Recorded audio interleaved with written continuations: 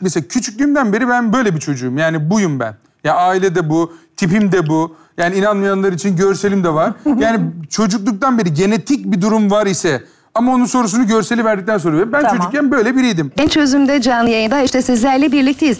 Biliyorsunuz bu hafta Gençlik Haftası. Atatürk pırıl pırıl gençlerimize emanet etti Türkiye'nin geleceğini.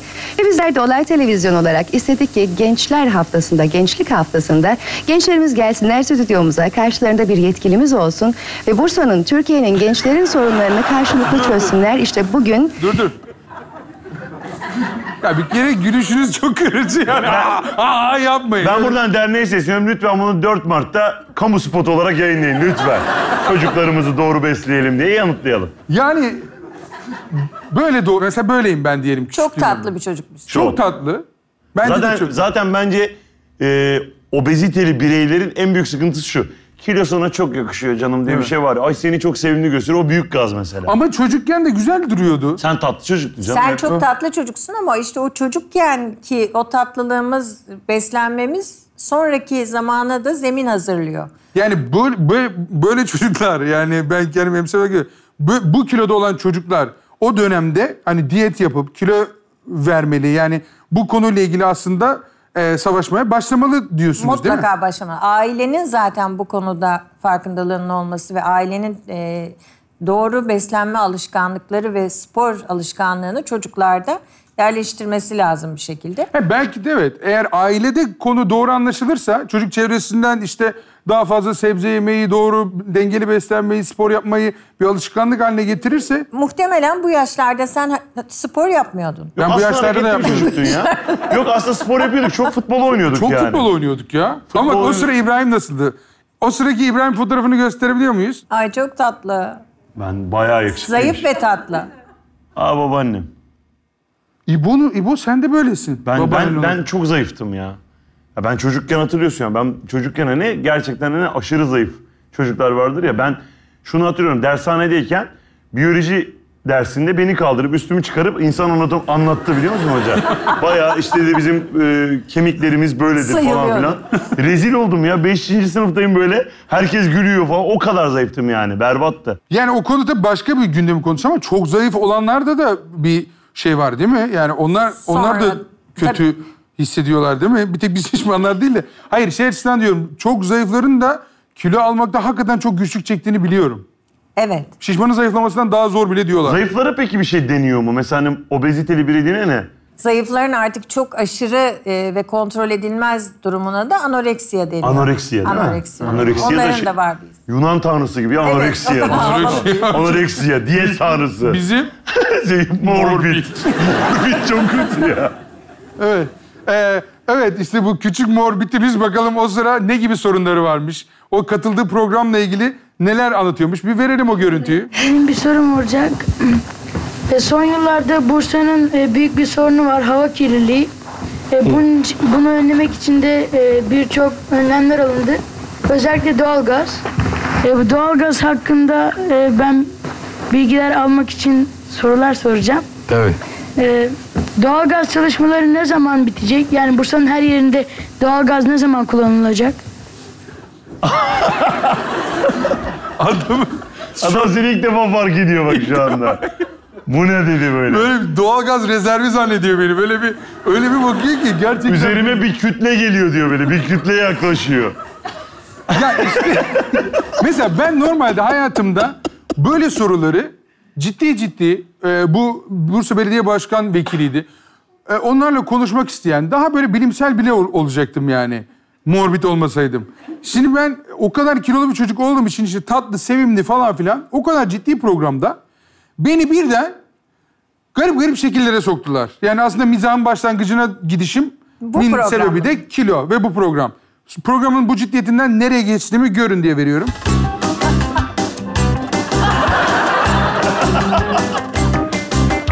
hayat hayat da insan yani kilo dediğin şeyin gerçekten hayatında e, enteresan bir değişimi var. Yani tamam kilolu olmakla ilgili sıkıntılar var ama her şeyin başlangıcı da bu yani. Evet, yani evet. bütün mizaha. Ya adam dedi ki sen doğalgazı merak etme. Sen o hava kirliliğini de yutarsın zaten. Rahat ol. Sen Sen onu, sen onu zaten yutarsın Sen yani. oyna dediler bana yani. Ondan sonra eğlendik güldük. Yani Bir tek sana mı dediler orada oynadın? evet. Hayır şey oluyorsun işte kameraman gördü e, orada Aa, ne tatlı, aa, ne morbid. tatlı falan ben de hı, hı diye oynadım yani hani bir de e, şunu ekleyebilirim yani bu genç arkadaşlara bizi izleyen obeziteli genç bireylere e, hakikaten kader değil yani bu biraz e, gerçekten doğru adımları işte doğru tavsiyeler alırsan ve gerçekten bir bilimsel bir hastalık gibi yaklaşırsanız Evet. çekinmeden kilo verilebiliyor çünkü ben o dönemde hakikaten de doktora gittim diyetisyene ve psikoloğa gittim ve o halden kilo vermiş halimi göstereyim verdim. Ben abi zayıfladım halimi. Evet. Evet. Aa, Evet. Ya. Böyle Kaç kilo boşuna bugün ben seçilmedim obezite gününde bu Kaç sunumu. yap- kilo verdin burada? Tam 30 kilo verdim o diğer halimden ve hemen sonrasında oluyor zaten işte. Hatta bir yazın vermiştim. İbrahim'le her gün top oynuyorduk bilmem ne. Kısa zamanda mı verdin? Hayır hayır kısa zamanda vermedim. Uzun zaman. Bayağı bir diyetisyen kontrolünde. Bayağı o kibrit kutusu peynir falan o diyetin ilk çıktığı dönemler. o onları yapıyoruz. Sabah işte salatası, domates yani böyle sağlıklı beslenme. Bir zaten çok hareket ediyorduk. Yemeği biraz daha sağlıklı hale getirince kendiliğinden 5 5 6 ayda e, 30 kilo verdim. Yani şu kemiklerimi falan işte ne zamandır Şahane. görmüyoruz. Peki o zaman da midenle konuştun mu? Yani ben... o konuya geleceğiz. Gerçekten en çok aynalarla Konuş. konuşuyordum o sıra. Yani vücudum neden böyle yapıyorsun, midem bir sakin ol falan diye. Kendi iç muhasebesini çok yapan biriydim. Ee, ama bu zayıflığa gelinebiliyor. Yani o demek ki Evet. çocuk buna dönüşebiliyor. Ve hem aileleri hem de bu genç kardeşlerimizi etraftaki e, zorbalığı falan geçin yani. Kendiniz sağlığınız için kendi istediğiniz zaman e, en hareketli çağlarınızda biraz dikkat ederek doğru yardımları alarak hakikaten zayıflayabilirsiniz. Yani hemen bu güzel görüntünün yanında hemen bunun olmasına bakmayın. Yani dönem dönem olabilir. Yine alabilirsiniz. Yine verirsiniz. Ee, biz İbrahim'le bu yolculuğu sayısız kez yeni yöntemlerle kırmaya çalıştık yani obeziteyle mücadelemizde birçok şey denedik. Çünkü bizi bu meslek aslında çok kilo aldırdı. Evet. Yani biz bu işlere girince turneler, işte gidiyorsunuz mesela işte Antep'e gidiyorsunuz. Antep'te bir, bir Güneydoğu turnesi yaptık biz mesela. Evet. Nereye Orada gideceğiz? mesela 7 kilo falan alıp geri geldik yani. Evet. Yani Antep'te gitmişsinizdir yani orada bir gastronomi coşkusu olduğu için. Ya biz mesela Antep'te sabah 5'te kaldırıyorlar. Diyorlar ki abi bir ciğerci varmış. 6'da açıyor, 7'de kapıyor koşun.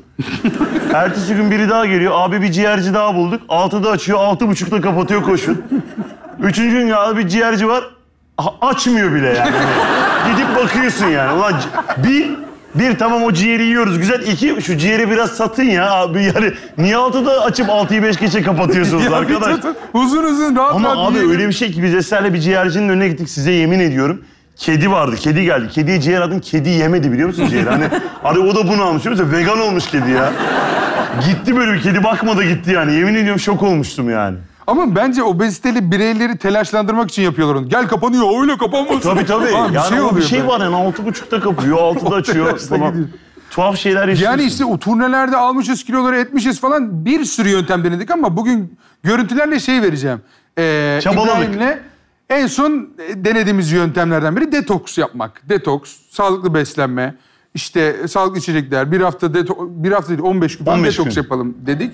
Ve e, öncesinde de detoks yapacağız telaşıyla bir tatile çıktık. Yani Evet. detoksa gidiyoruz tatil Çeşme'ye gittik değil mi? Çeşme'ye gittik ve hani gerçekten hani oğlum yani neyin paniğini yaşadıysak birazdan detoksa gireceğiz diye yani üç gün sonra bir de üç günlük hafta sonu koymuşuz.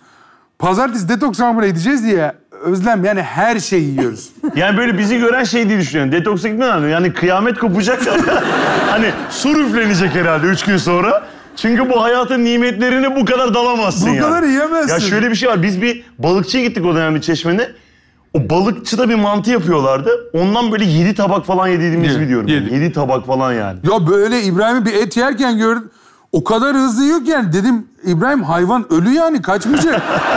Şu an bir telaş yapmana gerek yok. Gerçekten öyle. Ve detoks hala doymamışız. Detoks kampına gireceğiz işte bu Bodrum'daki detoks kampına. Son bir tabela gördük yani detoks kampı Bodrum mantı yazıyor. Mantıklı. Gittik son o mantıcıya da girdik. Ama yer yok. Yiyeceğiz yani o mantıyı. Onu da yedik. Orada da bizi magazin çekmiş. Ver fotoğrafı.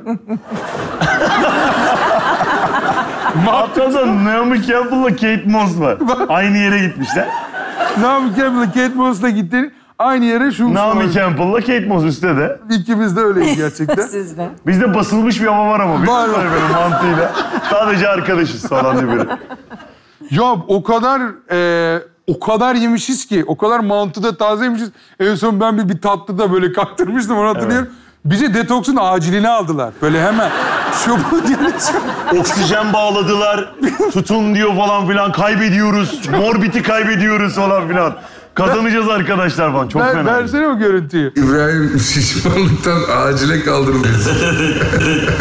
Oksijen almam lazım. Çok pişmanım. ya devlet yardım etsin. Emektar oyuncu şimdi ne halde? Yıllardır 12 senedir ekranlarda izlediğiniz Eser Yenenler artık bakıma muhtaç durumda. Nerede sevenler? Yıllarca izlediniz, güldünüz. Neredesiniz şimdi? Biz buraya girdik. İlk şeyimiz tabii yani bir yandan da ilk o sağlıklı beslenmeyi de aslında öğrendiğimiz yani. Evet. Şu an çok meşhur olan hani daha böyle sebze ağırlıklı beslenme öğren. Ve kahvaltıda İbrahim tabii ki çok tatmin olmadı. Ver abi kahvaltıyı. Havası. Sabah kahvaltısında elmanın bir şeyi var ama güzel. Lezzetli. Yalan değil. Ama mesela benim için böyle bir şey. Mesela bir kahvaltıda böyle bir şey. Ancak kahvaltıdan sonra kahvesi yanına gelip hani Türk kahvesinde içerken ağzımıza tatlansın diye yenebilecek bir şey. Gerçekten bunu kahvaltıya koydular ve bu yine iyi bir kahvaltıydı. Sonrasında konulan kahvaltılar Ya şimdi öğle yemeğini göstereceğim hemen arkasında. hani böyle kibrit kutusu kadar peynir falan diyorsa direkt kibrit kutusu veriyorlar. Yiyorsun. Vay katır kutur yiyorsun yani o. Hani direkt onu veriyor yani. Yemek de yok artık yani. Raw vegan diye bir şey. Öyle bir şey var. İşte düşük ısıda pişirilmiş sebze Sebzeler. sadece o kadar. Şimdi yemeği de gösterenden sonra soracağım Özlem Tamam. sana. Ee, ve bize böyle öğlenleri çok lezzetli yemek isimlerinde ama öyle olmayan bazı şeyler veriyorlar. Mesela onu, onu eleştireceğiz şimdi. evet. Evet. Ver abi. Bu. Yine bir yemekte daha beraberiz. Nerede neler gitti? Bazı şeyler gitti. Gıdı, gıdında bir azalma görüyoruz. Gıdıda azalma var ama yani bence gözle görülür azalma. Birinci haftayı ya da 10. günü. Oo. Oo. Burada bu nedir abi? Ravioli. Ne? Ravioli. Ravioli neyle, yap neyle yapılıyor bu ravioli? Turp artı e, kaş peyniri. Bak Türk, Türk ve kaju peyniriyle ravioli. Ee, bir zorlama var burada. Aa işte hani tereyağı yaptık biz de. Ama hayvansal kullanmadık. Neyle yaptınız? Neyle? Bademle. İyi, aynı değil. E niye tereyağı yaptık diyorsunuz? Bademi ezdik diye. Mesela daha iyi. Ama niye yani etoburların karşılığını aramak zorundasınız ya? Ne gerek var? İncir yaprağından incik kebabı yaptık. Ne gerek var? Ravioli. Ravioli demeye ne gerek var? Ravioli bildiğimiz bir İtalyan makarna çeşidi. İtalyan mantısı da diyebiliriz. Ama bu ravioli değil yani. Bu incir yaprağının arasındaki kaju. Kaju peyniri. Şu peynirini de unutmayalım. Ama şöyle bir şey. Seni çok Yani perişan tersi bir argümanla gelmek istiyorum sana. İnsanlar yıllarca bir beslenme alışkanlığı oluyor. Evet. Ve o beslenme alışkanlığından dolayı da buradaki şeyleri onlara benzeterek insanları rahatlatıyorlar. Tamam o zaman afiyet olsun. İkna oldum. Bu kadar da karaktersiz biri. Bizim detoks kampında e, 10. günde hiç et, kahve, çay hiçbir şey yememişiz, etmemişiz. Son böyle İbrahim'le kampta da iki tane tavuğu salmışlar, geziyor böyle tavuklar. Böyle bir... Hani et yemiyoruz. İşte onlar bizim dostlarımız. Öyledir zaten. Evet dostlarımız. Dostlarımız. İki tavuğu saldılar. Biz de peşlerinden biraz gittik. Ver abi. Gel kızım. Açız. Kafa karıştırıyor. Veganım canım, vegan. Her şeyden habersiz masum masum yürüyor değil mi? Hiç oğlum biz bunu yemeği nasıl akıl etmişiz ya? Kalkıp bana 2-3 gün ver ben de akıl ederim bunu. Evet ya bana beni de aç bırak. yenmiyor, yenmiyor olsaydı ben bunu bulurdum burada. Ve en son bir tane de alete girdik. Onu da ya o bence O, o neydi? Ozon muydu? ay şeyin içine giriyordun ya. Onun görüntüsü Buharlı ozon veriyorlar. Onu da versene son görüntüyü de. İbrahim'e vücut Vücut nakli yapıyoruz şu an. Ha bu şey. Yeah. İşte bu. Bitirdim. Helal olsun sana. Deli sıkılaşarak istemiyorum. Ama fena değilsin burada. Fena değilim. Orada da ama orada kilo verdiğim. Bir şey söyleyeyim. Buradaki verdiğin kiloyla eee şu anki kilon arasında ne kadar var? çok var. Yani şu an onun da en az 7-8 kilo aşağısındayım. O ifade ne peki? O yani, Yani, o, Açıyor yani. o, o da değil. o da değil Eser. 10 kilo daha azsın burada. Evet. Vay anasını. Oraya biz ama ben 108-109 kilo çıkmıştım gittiğimde. Ama ondan sonra aldın mı o kiloyu geri? Almadım ya. Çok hani şöyle oldu. Biraz aldım. A pardon aldım. Pardon. Şu an şey yap, kendimi çürüttüm.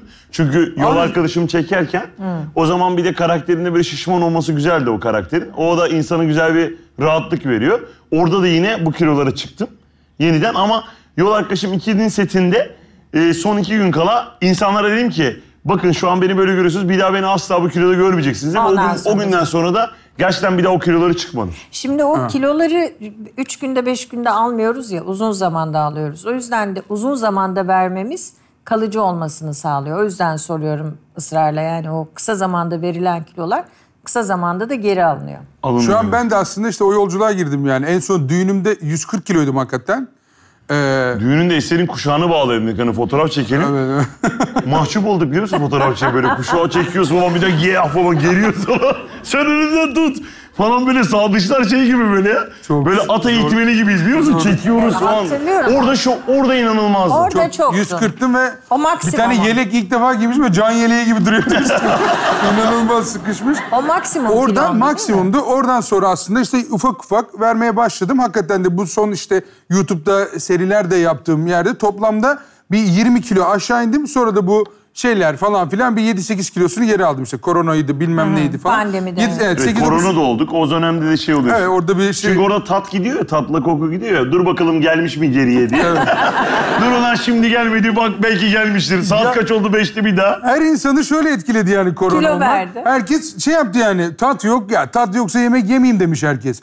Ben panik oldum gerçekten. Ya Tat bu gelecek mi diye. Bu tat gelecek mi? Gelmedi. Bugün de gelmedi falan. o dönemde işte bir kilo aldım ettim. Ondan sonra şimdi yani işte bu aslında obezite günü de yani böyle programlar yapıyorsak bir hakikaten anlamı da olsun diye söylüyorum. Yani sana da söyledim yayından önce. Yani 4 Mart 4 Haziran diye hedef koydum kendime. Bayağı kendi ideal kiloma yani bu 37 şeyim ya. Evet. Onu 30'un altına İndireceğiz. Yani uzun ne kiloluydu?